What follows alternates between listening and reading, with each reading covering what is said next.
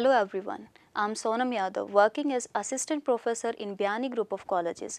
Today our topic is gamma ray interaction with matter. So first of all we should know what is gamma rays. So here is some properties of gamma rays. Then first one is gamma rays are electromagnetic rays emitted in the form of photons.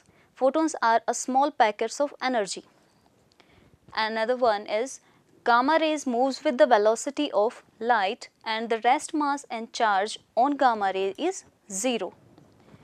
Gamma rays are not deflected by electric and magnetic field. In short, we can say that gamma rays are highly penetrating. That's why their absorption by matter is different than that of another charged particles.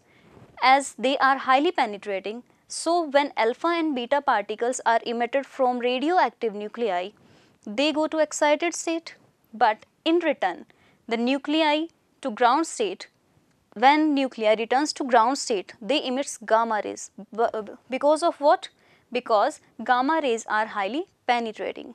So, here are, here are some properties of gamma rays. So, before study about gamma rays interaction with matter, we should know what are gamma rays, what is their qualities, what are their properties. So, here is a, a law, the law of absorption of gamma rays. This law is considered when gamma rays interact with matter. So, for that let us suppose a gamma ray of intensity I naught is incident on a slab of thickness x, small x. So, the change in intensity of beam as it passes through the slab will be proportional to two things. First one is thickness of slab and second one is intensity of incident beam. Or in mathematical form we can write force small thickness dx. The change in intensity will be given as di is directly proportional to i dx. I is intensity and dx. But here mu is linear absorption coefficient that is a constant.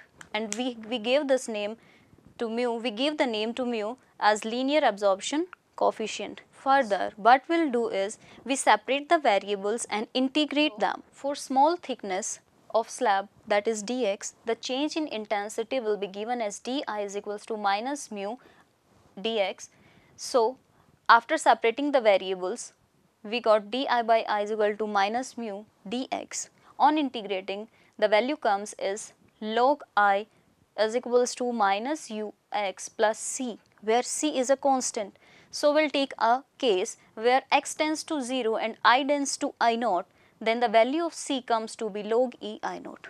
After putting the value of c in equation number second, we get log i minus is equals to minus ux plus log e i naught. On solving this equation, we got the value of intensity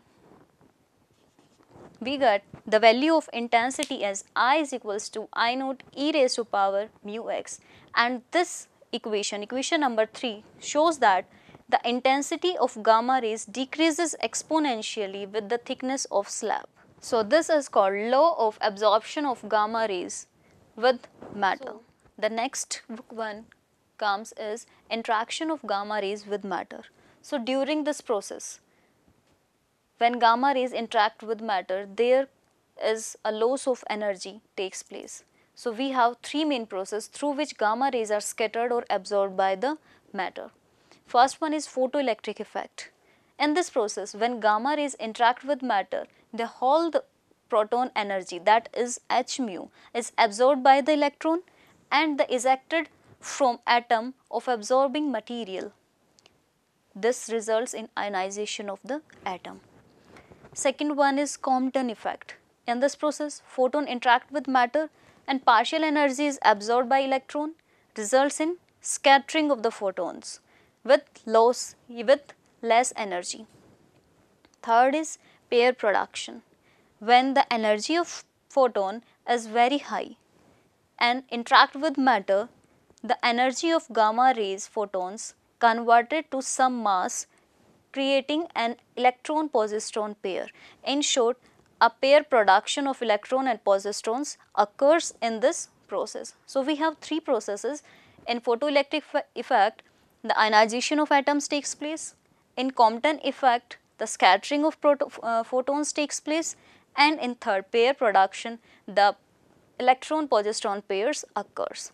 So that's all for the gamma ray interaction. Thanks for listening and watching this video. Hope this will be helpful to you for study further about gamma rays. I request you to please like and share this video and subscribe our channel that is Guru GuruKpo. Thank you.